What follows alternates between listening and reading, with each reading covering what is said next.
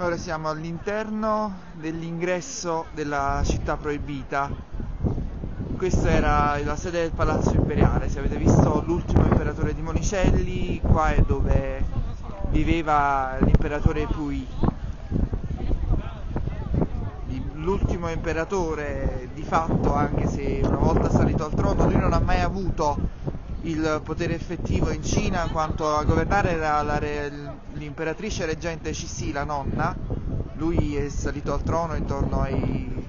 adesso non ricordo se sono tre o sei anni. E nello stesso periodo nacque anche la Repubblica Popolare Cinese e lui fu sostanzialmente uh, relegato, esiliato all'interno della città uh, gli, hanno, gli fu concesso infatti di vivere a condizione che non uscisse dalle mura delle città proibita.